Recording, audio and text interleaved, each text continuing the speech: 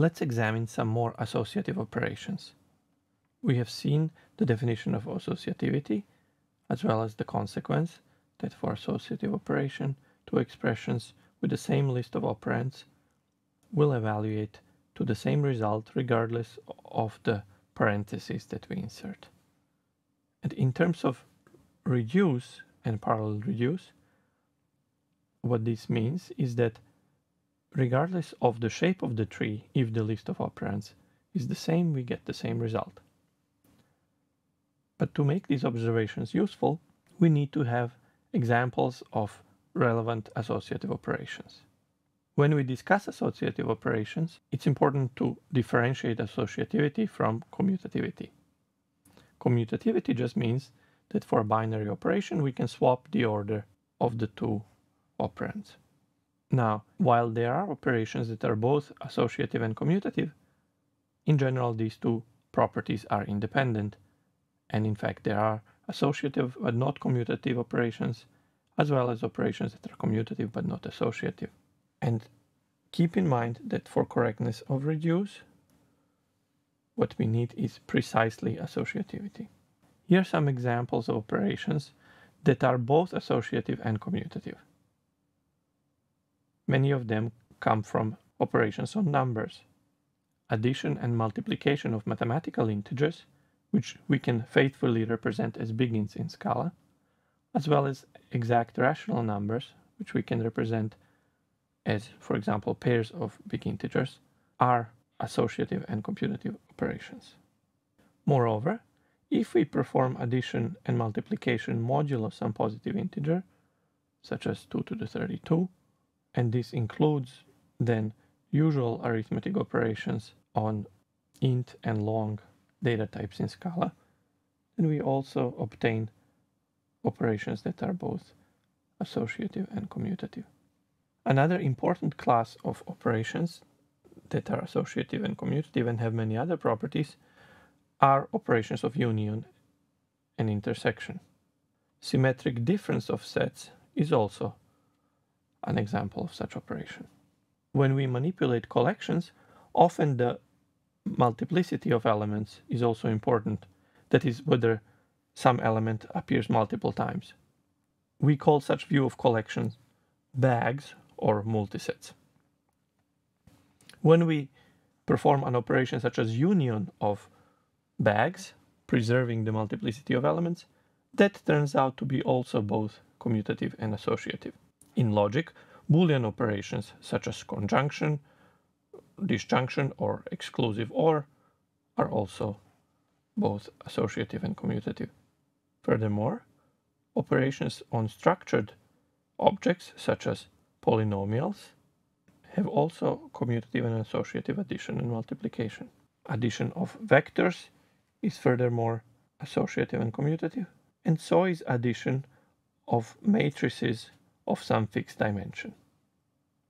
As one of our first examples, we have used array norm that computes the set of array elements raised to the power p. Which combination of operations does this expression correspond to, now that we have seen operations such as map and reduce? We can express the value of the above expression as taking the array A, then doing map on this array with the operation that takes absolute value and then raises it to power p. This conceptually gives a new array, and then we sum up the elements of the array. Summing up the elements of the array can be done by doing reduce with the plus operation. This is justified because plus is in fact associative. You may recall from our implementation of array norm that we only had one traversal of the array. And this is because this map can in fact be combined with reduce. Because map simply applies a given function to every array element, we can apply that same function at the point where reduce would retrieve the elements from the array. This avoids the overhead of building intermediate collections. This improves both memory and performance characteristics of our program because we avoid this unnecessary allocation. In addition to examples of operations that are both associative and commutative, there is a number of operations that are associative but not commutative. A prototypical such operation is concatenation or append of lists. The associativity holds for the append operation, but it is not the same if we compute x concatenated with y or y concatenated with x. These are two distinct lists that happen to have the same length, but the order of elements is not the same. Closely related example is concatenation of strings, which can in fact be viewed to some extent as lists of characters. Matrix multiplication is another example of operation that is associative, but it is not commutative, even when we could both compute a times b and b times a. In general, of course, it need not be the case that b times a is even well defined when a times b is well defined. Analogous situation arises with composition of relations and composition of functions. Composition of relations co collects all elements that are pairs of A and C, such that there exists element B where AB belongs to the first relation and BC in the second relation and composition of functions can be viewed as a special case of that, occasionally with uh, different conventions on the ordering of the operands.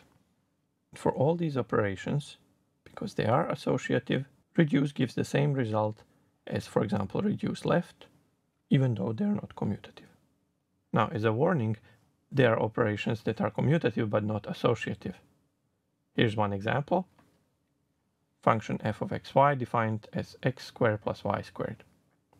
It is easy to see that x and y play symmetric role, so f of xy is x squared plus y squared, whereas f of yx is y squared plus x squared. On the other hand, if we compute the two sides of the associativity law, on the left side we get x squared plus y squared squared plus z squared, and on the other side we have x squared plus the square of y squared plus z squared. And these two expressions are easily seen to be distinct for many values of x, y, and z, because, for example, the degree of x in, on the left-hand side is 4, where it is 2 on the right-hand side. So because of such examples, it is important to keep in mind that proving commutativity alone will not be sufficient to imply associativity or that reduce gives the same result regardless of the order of operations. In general, if f is a commutative operation and h1 and h2 are two functions of one argument, then the function g defined by applying h1 to each of the arguments, then applying f, and then applying h2 to the result remains commutative. Indeed, g of xy is equal to this expression, but if we swap the arguments of f, which is commutative, we obtain the following expression, and this is in fact g of yx. So g is commutative. As we have seen in the previous example, however, g loses the property of associativity even when f did have it. The previous example was an instance of this phenomenon when h1 was x squared and h2 was identity function. So when combining and optimizing some combinations of reduce and map invocations, it is important to keep in mind that applying such functions to arguments of some associative operations may lose associativity. It is important to keep in mind that some ubiquitous floating point operations corresponding to important real number operations turn out not to be associative. In fact, even addition of floating point numbers is not associative, although it is commutative. Here we have an example where we evaluate an expression in two different orders and we obtain the value that is not equal. Here I define some concrete values as an example for when this can happen. We define e to be a very small positive value. x is a very large positive value. And mx is a very large negative number. Now, x plus mx will be 0. And when we add e, we will get a, this very small positive number, e. On the other hand, what happens when we compute things in different order with different parentheses? Well, mx plus e, unfortunately, cannot be represented precisely. And because we do approximation, the value of e will essentially be lost. So this expression will evaluate to mx. When we add x and mx, the result will be 0. And this is why we obtain violation of associativity law. Equally simple examples allow us to illustrate that multiplication is not associative either. Here, in fact, we can use some of the same arguments. So e times x times x versus e times x squared. For appropriately chosen values of e and x, this evaluates to false. We can again pick e to be a very small positive number and x to be simply a very large positive number. Then e times x is in fact 1 and when we multiply it by x the result is x which is a very large number. On the other hand x times x is not representable at all because it's too large so the result is infinity. Now floating points define rules for how to compute with infinities but certainly the resulting equality does not hold. The previous operations were in fact commutative, so it is interesting to think why it was possible to make such approximate operations commutative, yet the designers did not succeed in making them associative. Well, it turns out to be much easier to make an operation commutative. Suppose that we have some operation g that is not necessarily commutative, but we are happy with answers gyx or gxy. Then all we need to do is pick some total order on the values from our domain, such as x and y, that allows us to compare two values such that always we get the answer that they are equal or one of them is less than the other. We can do that by, for example, comparing raw bit representations of these values, although there are for every domain better ways to do that. We can then define function f such that it computes those among the values g of xy or g of yx for which the first argument is less than the second. It is straightforward to verify then that such slightly modified operation f is in fact commutative even if g was not commutative. Of course, when the two arguments are equal, then it doesn't matter whether we compute g of yx or g of xy. The result is equal to, for example, gxx.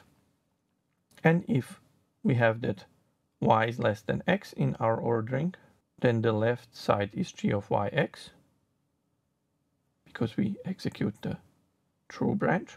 Whereas when we compute f of yx, then we will execute the else branch, which will lead to exactly the same invocation of g. So regardless of what the value of g is, we'll obtain the same value for f of yx and f of xy. So there are some ways of patching functions to make them uh, commutative, but we do not have such trick for associativity of functions.